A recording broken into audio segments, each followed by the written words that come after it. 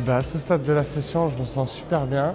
On a énormément avancé. On s'est rendu compte que bah, ce qui paraissait impossible était totalement possible. Ça s'est super bien passé. C'était fluide. Donc là, c'est vrai qu'on on commence à relâcher un petit peu la pression, puisque là, ça y est, tout est en place.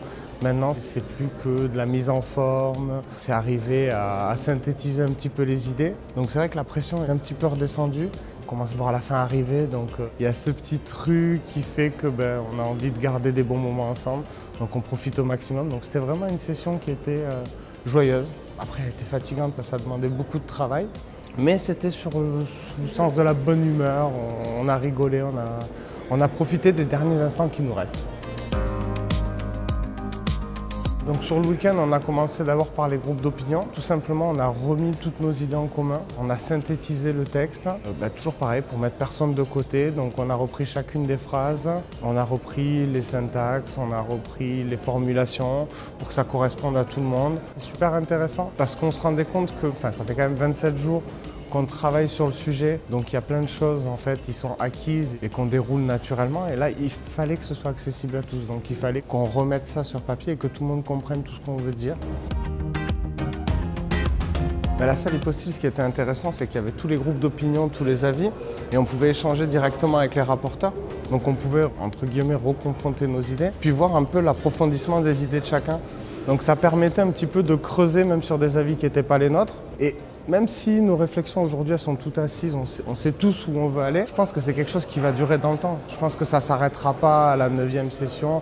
On va continuer à réfléchir sur, euh, sur ce sujet. Il y a des liens qui se sont créés, on est, on est tous devenus potes. Donc on, continuera tous d'échanger et je pense qu'en fait on va continuer à discuter sur ces sujets-là et on se rend compte qu'en fait c'est un sujet qui n'a pas de fin. En discutant avec les gens, on se rend compte qu'on n'a pas une idée qui peut être arrêtée, ferme et définitive et qui évoluera jamais. C'était une façon de se positionner un petit peu sur des idées qui n'étaient pas forcément les nôtres, de les mettre à différentes échelles pour voir un petit peu comment l'ensemble résonnait. Ce que je trouve intéressant, c'est qu'encore une fois, ben, ça met personne sur le bord de la route. Ça permet que tout le monde puisse avoir son avis qui reste dans le livrable. Et ça, pour moi, c'est essentiel. Euh, après, bon, ça reste un vote. c'est chronophage, c'est long, c'est fatigant. Pour la toute dernière session, ça va être d'affiner le livrable de toute façon parce que ben là on sait qu'on arrive sur la fin donc maintenant ça va être plus que du détail, ça va être retravaillé, les, formulations. Les idées elles sont, posées maintenant, maintenant c'est plus que de la formulation et c'est arriver à rendre quelque chose de professionnel, de sérieux mais qui soit accessible à tous. Ben, sur la dernière session ce qui va être important aussi c'est de créer les derniers liens, s'échanger les derniers numéros de téléphone, pas perdre le contact et continuer à faire vivre cette convention parce que ben, au-delà de, de l'exercice démocratique, il y a eu de très belles rencontres. Enfin, pour ma part, j'ai fait de très belles rencontres ici et ce serait dommage que ça s'arrête euh, dans 15 jours.